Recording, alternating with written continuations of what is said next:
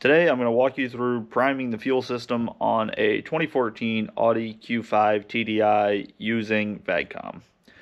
This probably applies to way more vehicles, but I'm doing this on a 2014 Q5, so if you have other vehicles that may apply, attempt this at your own risk.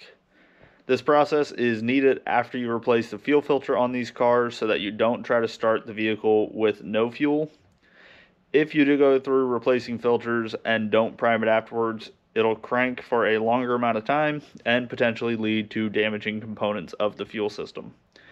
I'm sure many people don't go through this process and don't see issues, but for those that are wanting to do this and minimize any extra component wear, this video is for you. So to start out, plug your VAGCOM cable into the OBD2 port as you normally would and turn the car's ignition on. Do not actually start the car.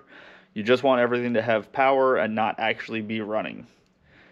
Then you can open the VCDS application on your computer. For reference, this is software release 24.5, which is the most current at the time of recording this, and I'm doing this on a laptop running Windows 11. Just putting that out there for those that may run this on a Mac or older Windows versions, just in case it may look a little bit different.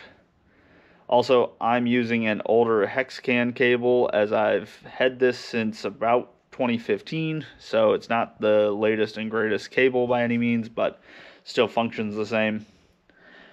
As always, when you start up VAGCOM, go to options and click the test button to make sure that your cable is connected properly and communicating. And then when that's successful, go to the main screen and click the select button under the select control module section.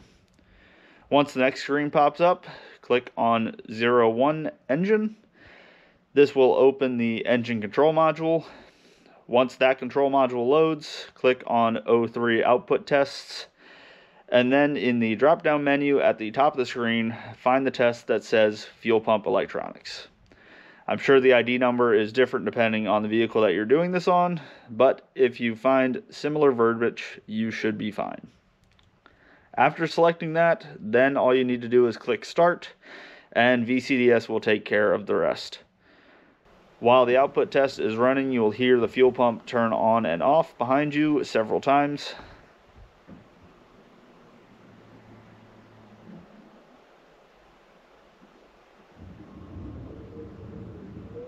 I tried to capture the sound, but it's very quiet for GoPro mic to pick up, unfortunately, so it didn't come out the best.